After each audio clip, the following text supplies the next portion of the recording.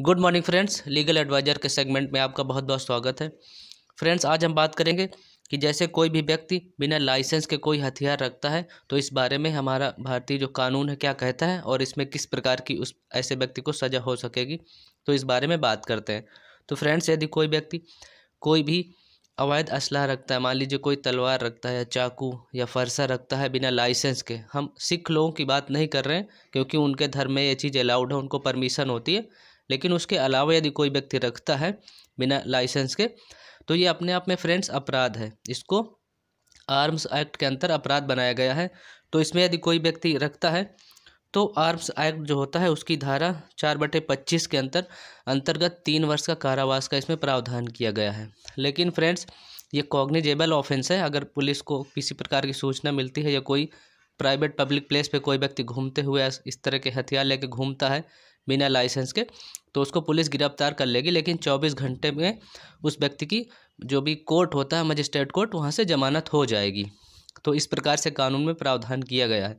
उसके बाद बात करते हैं कि हम गन के बारे में बात करते हैं। जैसे कोई भी व्यक्ति बिना लाइसेंस के कोई गन रखता है यानी बंदूक रखता है बिना लाइसेंस के तो उसका अलग से कानून है। उसमें ये होगा कि जो आर्म्स एक्ट की धारा है, तीन बटे पच्चीस, उस व्यक्ति पे तीन बटे पच्चीस के अंतर्गत कार्रवाई होती है, पुलिस गिरफ़्तार करती है।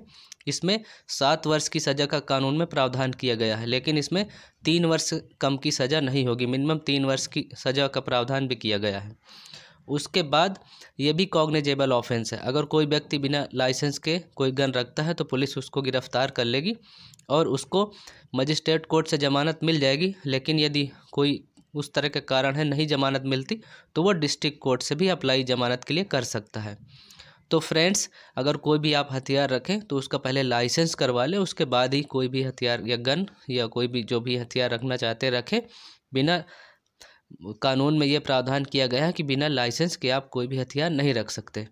तो ये दोनों कॉग्निजेबल ऑफेंस में आते हैं। तो फ्रेंड्स, आशा करता हूँ जो मैंने जानकारी दी है ज़रूर पसंद आएगी।